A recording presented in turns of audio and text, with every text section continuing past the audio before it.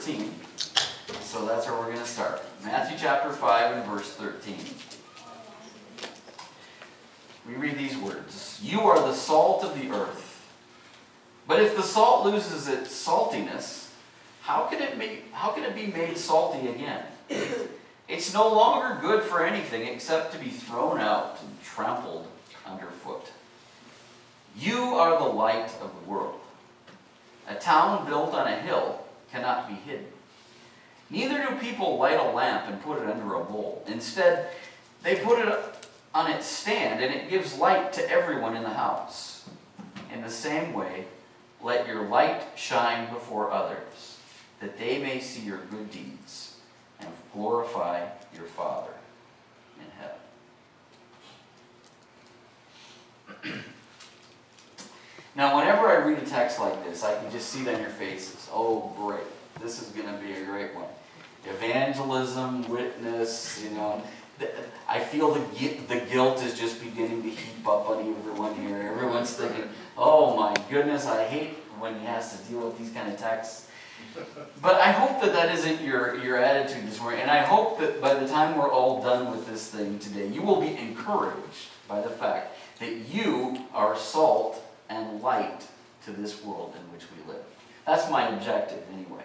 But there's something about evangelism that brings together all kinds of strange notions in us.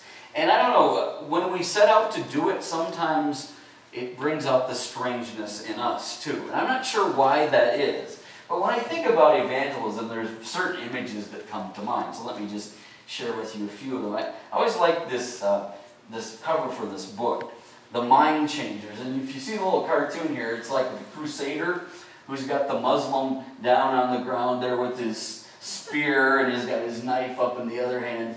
And the, the Muslim guy said, Tell me more about this Christianity. I'm terribly interested.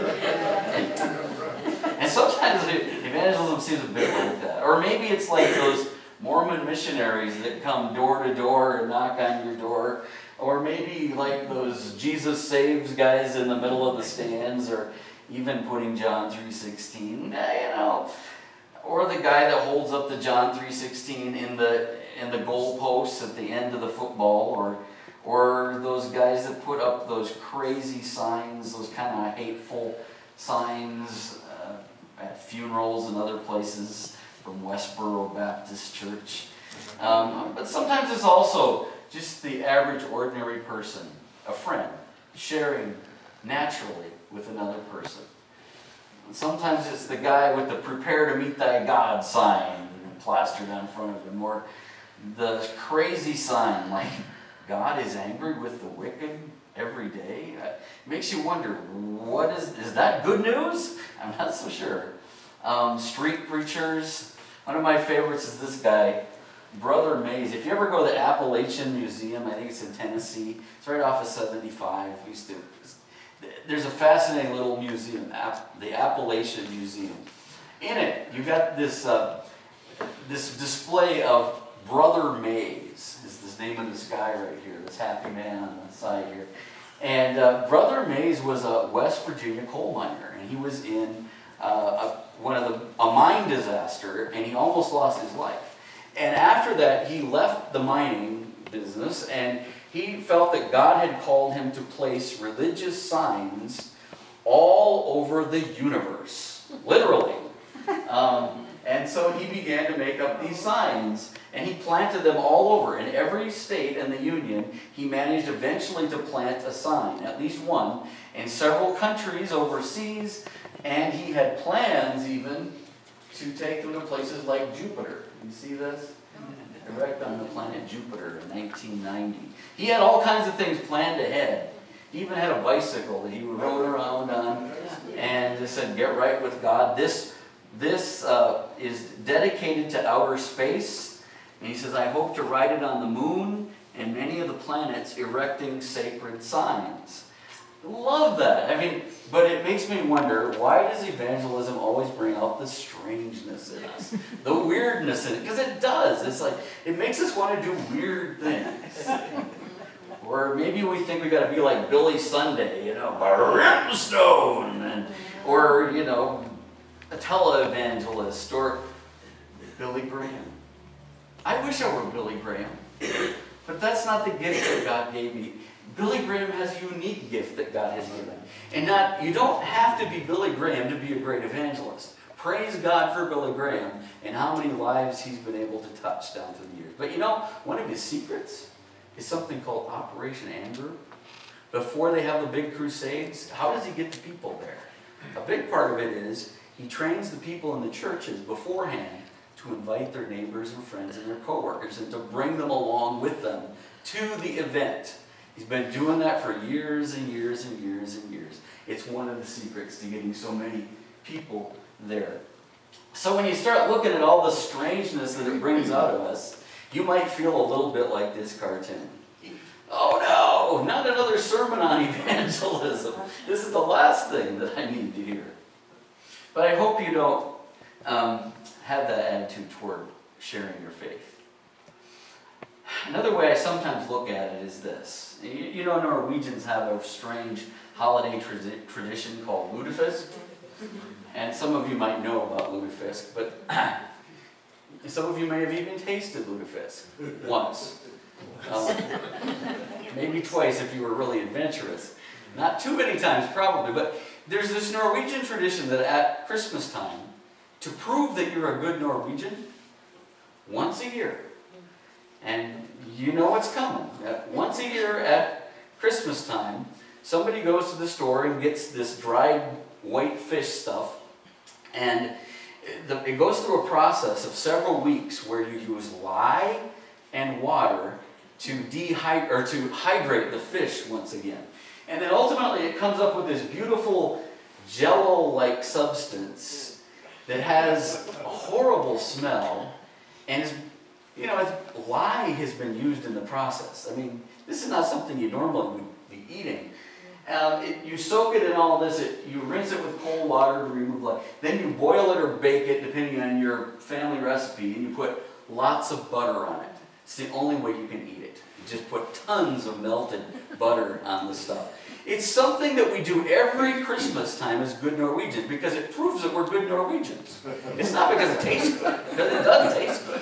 It tastes horrible. It smells bad. The texture's strange. There's nothing you like about it. But you're so happy when you get it over with. Oh yeah, I'm a good Norwegian again. I've done my duty. I've proved myself. I've proved my courage. I've proved my boldness. I was able to get it down one more year. And then you reminisce, oh, well, you know, it wasn't that bad. It, it, we could do it again next year. But of course, you hope you don't. Evangelism is kind of like lutefisk. We think, you know, it's something I know that I should do. And if I'm going to be a good Christian, I'm going to prove myself by sharing my faith with somebody else. But I don't really want to do it. And I kind of dread having to do it because it brings out the strangeness in me and everybody else, and I'm afraid of what they might say. But occasionally, just to prove we're a good Christian, we're able to somehow share our faith occasionally with a few people. And we're so glad when it's over, so we can say, oh yeah, got it done for another year. Okay, now we're good. Now, that kind of attitude toward sharing our faith is the one I want to get us away from. I love uh, this little statement by St. Francis. Technically, we don't know whether he really said this. There's some debate about this, but I like the, the phrase anyway. Preach the gospel always. And when necessary, use words. Now, whether he actually said this or didn't, I don't know. But what I think, I, I, I like what he's saying. And I think it's exactly what Jesus is saying. Who are you? You are in your very nature and character as a Christian, as a follower of Jesus, you are salt and you are light. It's the nature of who you are. Live it out. Live it out every day in everything you do because that's the most important way that you're going to be salt and light. That's the way you're going to penetrate and make a difference in this world is by being true to who you really are and allowing Jesus to live out his life through you. I don't think evangelism should make us strange or crazy or do weird things. In fact, we're best at it when we're just ourselves. Well, let's take a look at the text. You are the salt of the earth. But if the salt loses its saltiness, how can it be made salty again? It's no longer good for anything except to be thrown out and trampled underfoot. This is who you are.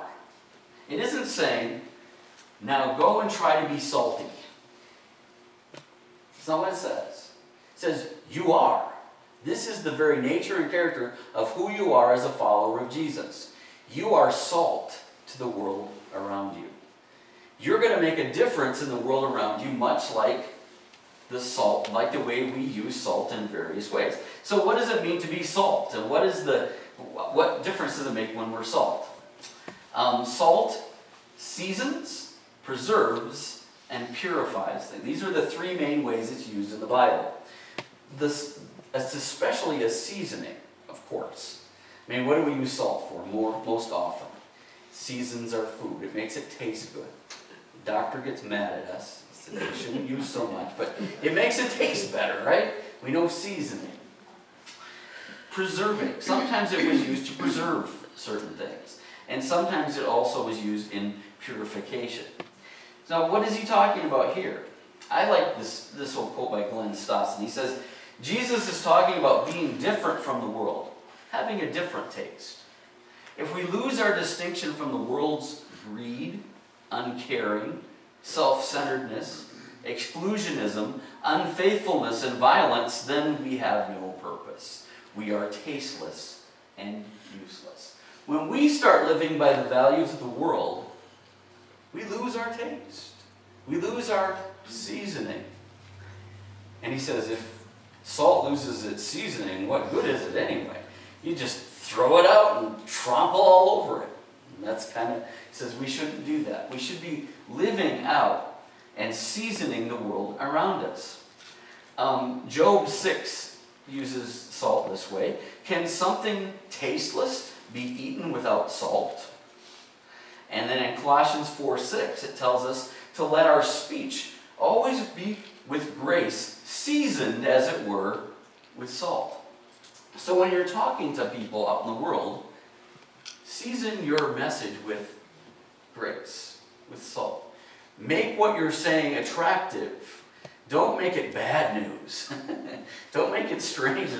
Make it good news by the words that you choose to use. So again, we're seasoning first and foremost, but it also preserves. Um,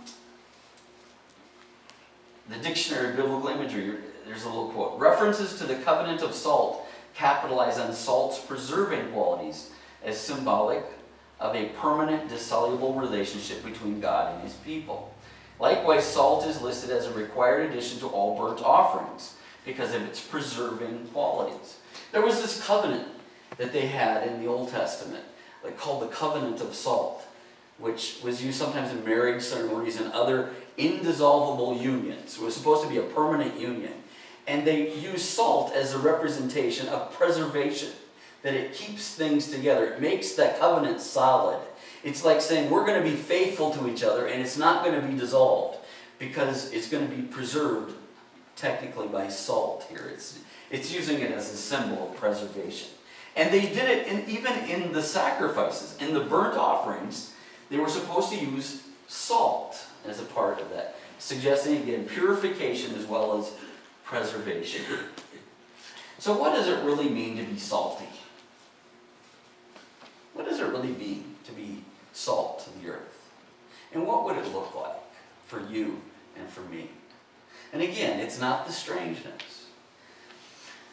It means to be like Jesus, first and foremost.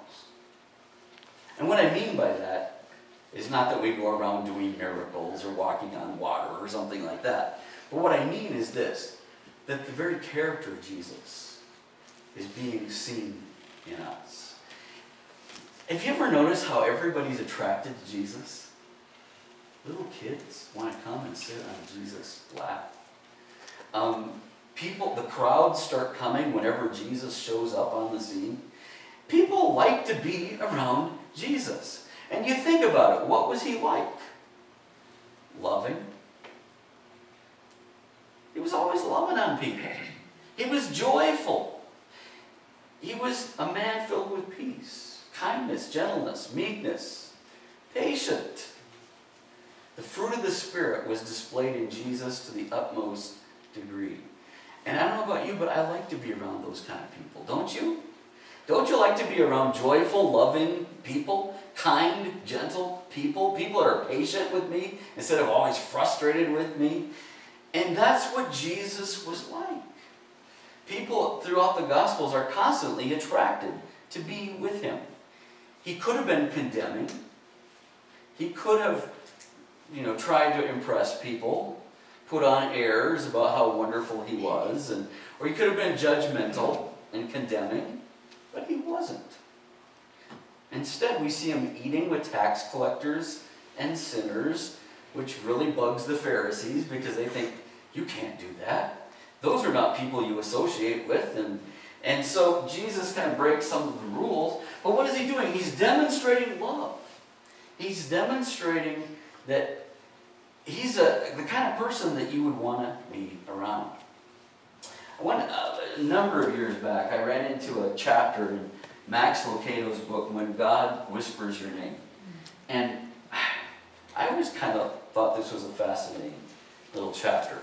It's called Why Jesus Went to Parties. It got, it got my attention when I first saw it. And uh, he's talking about John, where Jesus gets invited to the wedding at Cana of Galilee. And he just asked a simple question. He was trying to find some deep meaning to it. He said, and I kind of got stuck on the first couple verses here.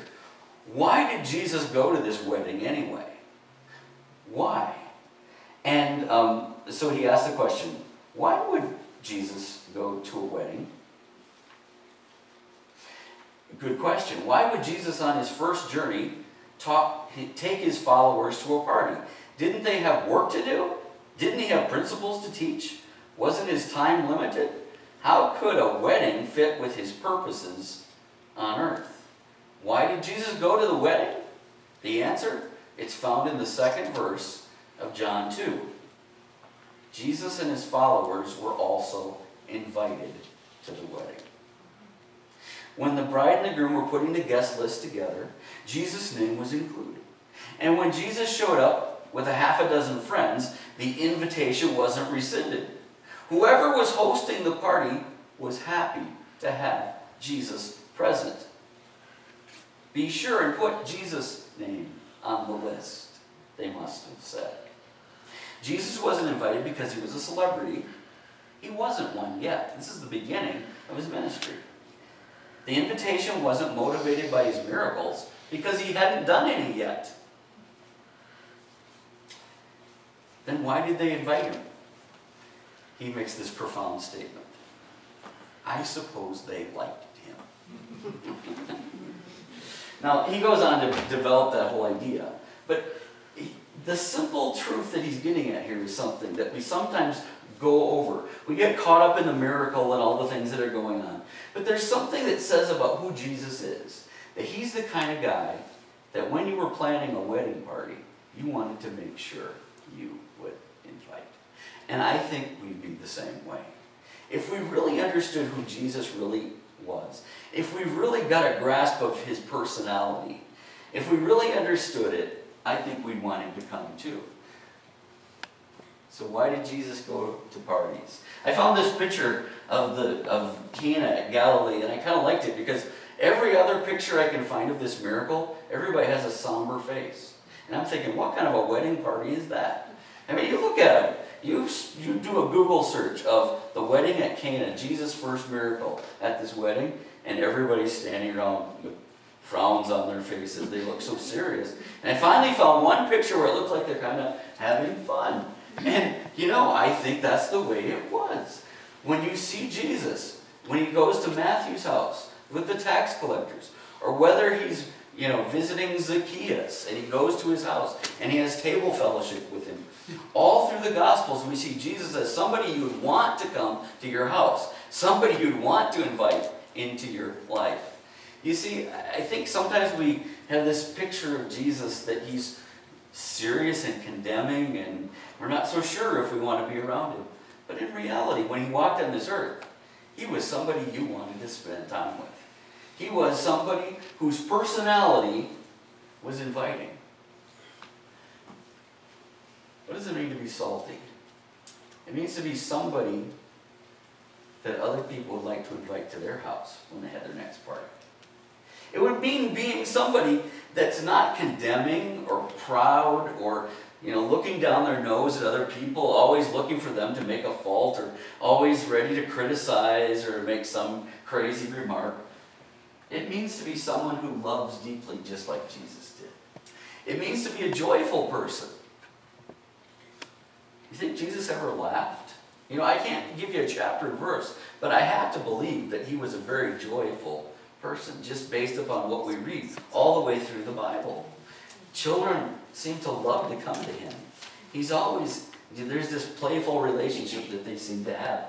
So, I guess the question is what does it mean to be salty? It means to be a friendly, loving person that just reaches out in love to other people.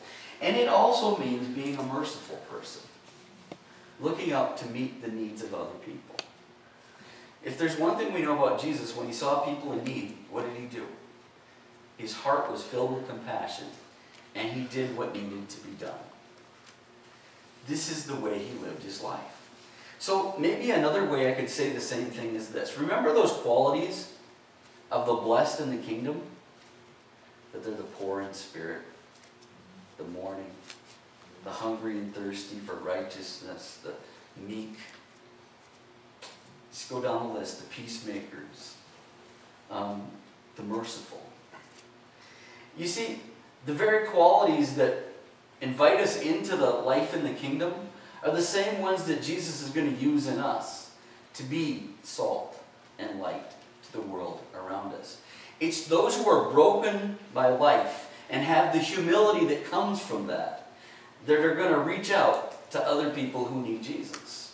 They're the most likely to be a witness and to reach out in a very real way. It's not those who are filled with pride and think, you know, I've come so far. I'm such a holy Christian.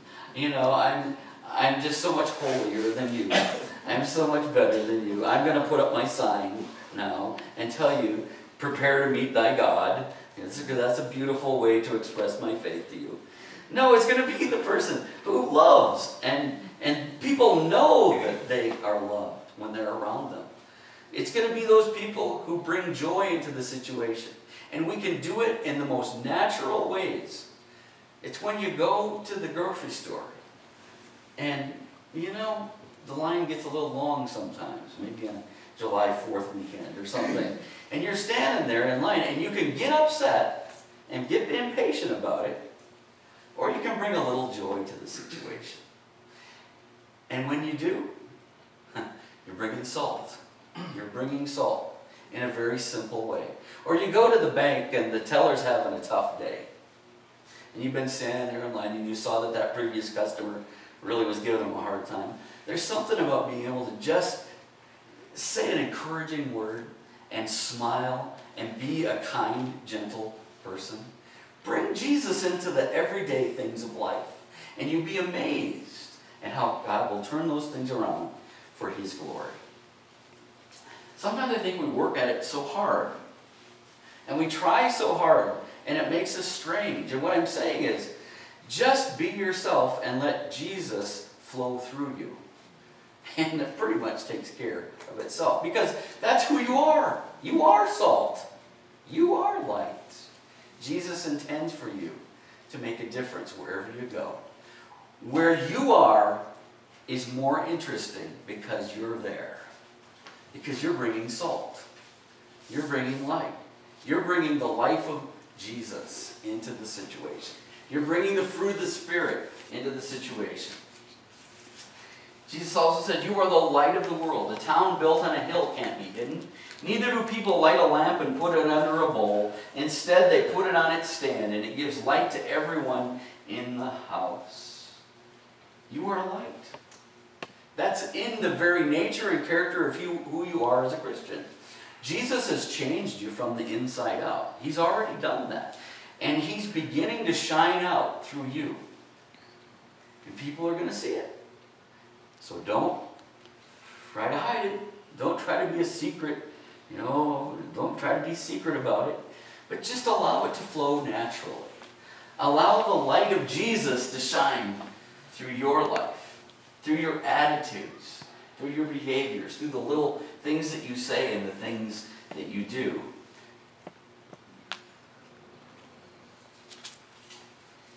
Yeah, a little quote here from John Stott. In both of these metaphors of salt and light, Jesus teaches about the responsibility of Christians in a non Christian or sub Christian or post Christian society.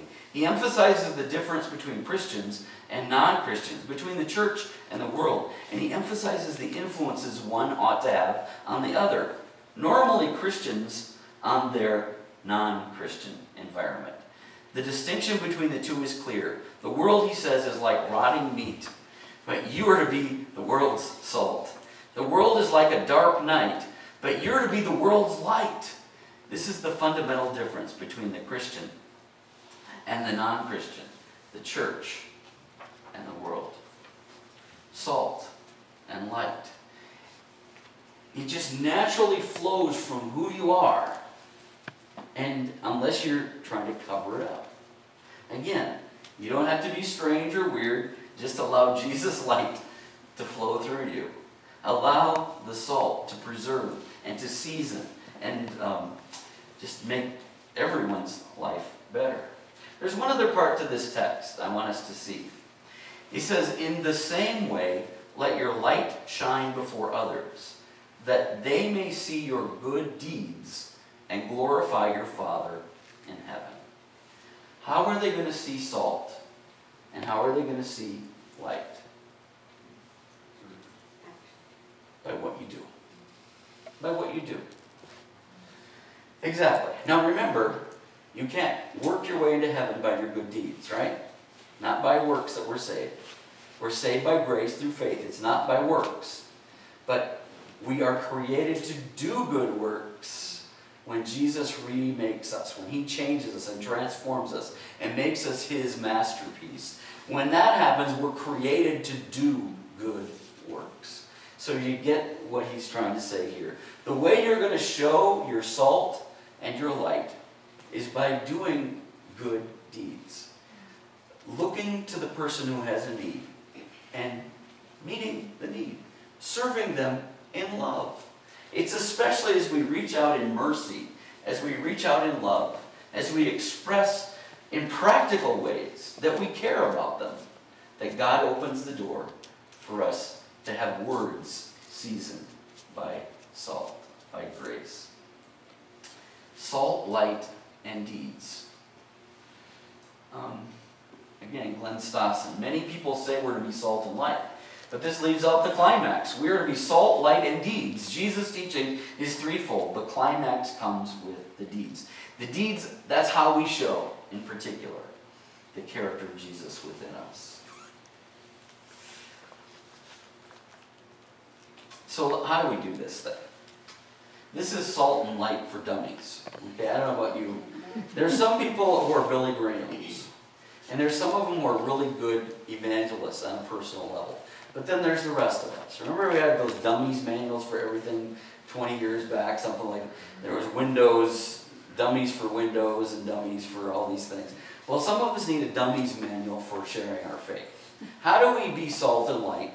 And how do we live that out in daily ways? So that we aren't the strange person holding up the sign or doing something weird. How do we do it in a natural way? So that Jesus just flows through who we are and it's in keeping with who He is making us. The first thing I would say is this step number one learn to pray for lost people. The most important thing I think we can do, just as average, ordinary people, is we recognize that we can't do it by ourselves. We're not like, you know, hard, maybe a used car salesman is kind of the, what we always think of. You know, the person who's going to sell you something, and it doesn't matter if you want it or not. I'm going to sell you this thing. That never seems to work. And that ought to teach us something. Apart from me, you can do nothing, Jesus said. John 15. We have to pray. And when you feel helpless and you want to do something, but you don't know what to do, what do you do? You pray about it. You pray for lost people. The most important thing I can tell you is that God loves it when we pray for lost people. It's on His heart too. I guarantee it. And we pray for them, and we pray again and again and again. And some of them we may pray our whole life and not see the answer to the prayer. But that doesn't mean it couldn't still happen. I love the example of George Mueller, who had five friends, and he prayed for them every day. These five friends from his youth. And he began to see, he saw two of them, I think, went to the Lord after 20 or 25 years. He kept praying for them. And after he died, the remaining friends came to know Christ. He didn't ever see the answer to his prayer, but it was answered. I love that example because sometimes we get, you know, after a week or two, we think, is God hearing my prayer? No, be persistent. Keep at it. Keep praying. God is at work in the lives of people. Learn to pray. Learn to love people like Jesus. Be someone that they want to invite to the party and find the joy of the Lord. There is something about joyful people that bring other people uh, and attract them to the Lord. We ought to be filled with joy. It's part of the fruit of the Spirit. When the Spirit of God is controlling us, we ought to be a joyful person, not condemning, hate-filled, you know, these things that sometimes people are in this world. I don't get it. Find the joy of the Lord. Learn to listen. I never know what to say. You know what? That's probably good. Learn to listen. Ask good questions and listen to people. most people want someone who's a good listener to come alongside them and just tell their story. Ask good questions and allow them just to tell what's going on in their lives. It often opens up the door to a deeper conversation. Learning to listen. Learn to invite people. When things happen, invite them. And sometimes, just like praying for them, you have to do it more than once because they don't always come right away.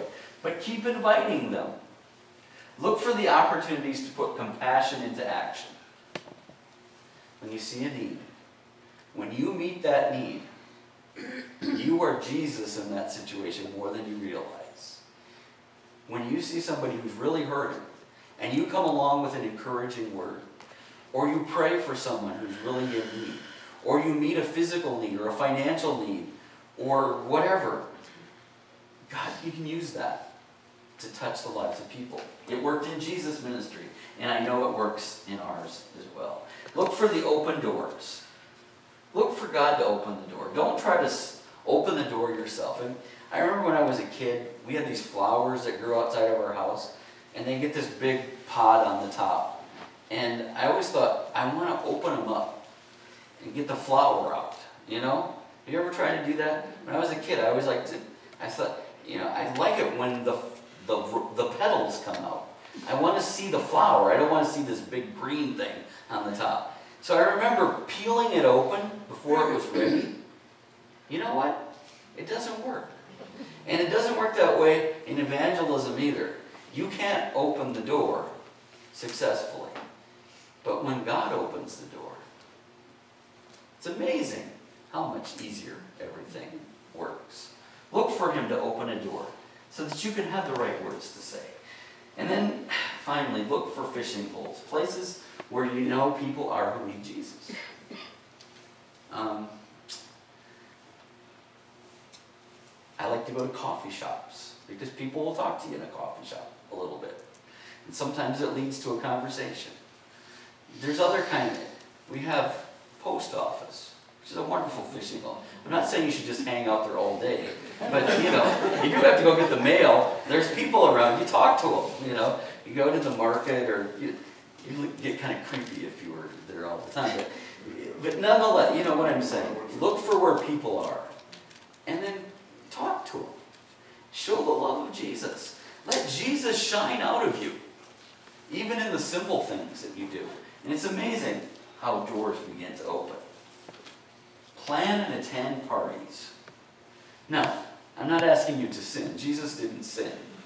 Okay? And I'm not asking you to you know, go to some strange, crazy thing. But what I am saying is, take the opportunities that life brings us, like birthdays and anniversaries and whatever these things in life, and invite your friends and invite your Christian friends and your neighbors and whoever. And just like Jesus had his Matthew party, so have parties with those kind of people, where Christians are able to rub shoulders with those who need Jesus.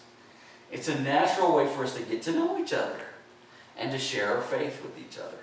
We don't have to be standing over in the corner, you know, condemning them, you know, being holier than thou, but just love them. Just love them. It's the most important thing I can tell you. Be like Jesus and take him to the world. You see, being salt and light is mostly about living a life that's consistent with the Jesus who lives in you and allowing him the freedom to work and to move. Salt, light, is evidenced through our deeds. You know, I sometimes ask myself this question it's an important one to ask. If your church was removed tomorrow from your neighborhood, from the community, would anybody notice? I know you would notice. But what about the people in our community? I ask the question because it's one of the most important questions we can ask ourselves. Are we being salt? Are we being light in this community? If we're not, what can we do to allow Jesus to make that light more present and to get us out where the people are so that the salt can be spread around? That we can bring the seasoning of Jesus to this community who so desperately needs it. Lord, make us salt. Make us salty. Make us like Jesus. Make us like him. Let us be his light where things are dark. Let's pray.